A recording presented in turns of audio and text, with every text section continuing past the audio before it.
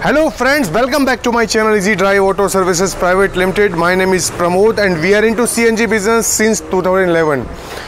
Guys जिनके पास भी मारुति की स्विफ्ट गाड़ी है या फिर जो लेने की सोच रहे हैं उसके बाद वो सोचते हैं कि सीएनजी किट लगवाई जाए इसके अंदर या बाहर की फिटमेंट कैसी लगेगी तो गाइज़ आज आपके सामने ये डेमो कार खड़ी हुई है हमने इसमें सिक्वेंशियल किट आज लगाई है थोड़ा सा आपको इसके अंदर फील देंगे कि जो कंपनी से फिटेड आती है सीएनजी कोशिश हमने की है कि इसके अंदर वो पूरा फील आपको दिया जाए। जो हमने ब्रांड चूज़ किया है, वो मैटर नहीं करता है कि कौन सा ब्रांड चूज़ किया हुआ है। मेरा पर्पज़ सिर्फ़ दिखाने का ये है कि हमने इसमें कैसी किट लगाई है गाइज़ सीक्वेंशियल किट है, सभी का जो टेक्नोलॉजी है सेम रहती है, चाहे वो सस्ता ब्रांड लगवा लें या फिर वो महँगा ब्रांड लगवा लें। फ़र्क जो होता है, कहीं ना कहीं वो फिटिंग का फ़र्क रहता है। ये जो ब्रांड हमने चूज़ किया हुआ है, इस ब्रांड का नाम है डिजी फ्यूल सिक्वेंशियल किट जो कि मोटोजेन का ट्रेडमार्क है, एक स्टेप ऊपर आता है मोटोजेन से ये।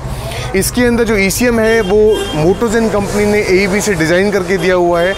बत्तीस पिन का ई e है। और एक चीज़ यहाँ पर मैं ऐड करना चाहूँगा, बहुत सारे कस्टमर्स के माइंड में मिथ है कि बत्तीस पिन का ई e और 48 पिन की ई में बहुत ज़्यादा फ़र्क होता है, ऐसा नहीं है।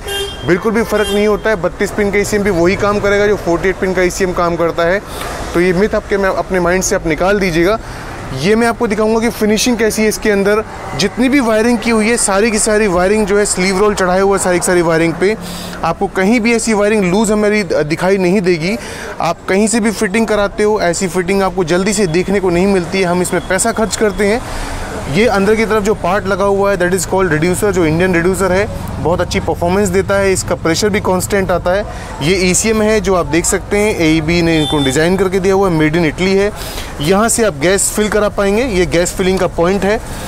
आप देखिएगा, हर चीज़ एक देखने वाली बात है कि यहाँ पे डेट डली हुई है। यानी कंपनी की तरफ़ से यहाँ डेट आई है कि कौन से मंथ में ये मैन्युफैक्चर हुआ है और कौन से मंथ में लगा है। तो गाइज़ ये तो रहा फ्रंट की फिटिंग यानी कि आपको मैंने दिखाया कि फ्रंट में हमने कैसी फिनिशिंग के साथ में फिटिंग की है। अब मैं यहाँ पर अपनी यूएसपी दिखाता हूँ कि कस्टमर क्यों मेरे पास आता है दूर से। उनको यूएसपी आती है पीछे की साइड से। तो गाइज़ ये जो है वो इसकी यूएसपी है, छोटी गाड़ी में नॉर्मली इतना ज़बरदस्त फिटमेंट आपका नहीं आता है। आप देखिएगा, बहुत अच्छी क्वालिटी का हाई स्टैंड हम यूज़ करते हैं। उसकी वजह से हम कितना भी इसमें लगेज रख पाएँगे, बहुत अच्छा स्पेस मिल गया है।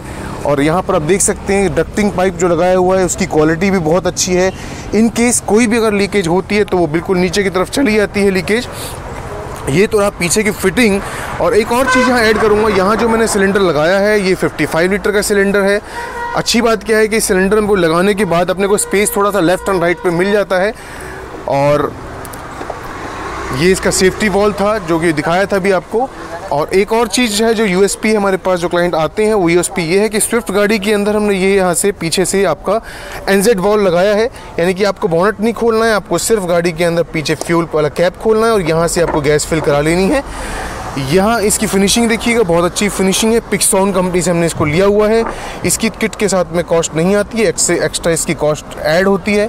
ये तो रही हमारी फिटिंग और इस तरह की वीडियोस को देखने के लिए मेरे इस चैनल को सब्सक्राइब कीजिए शेयर कीजिए लाइक कीजिए। Thank you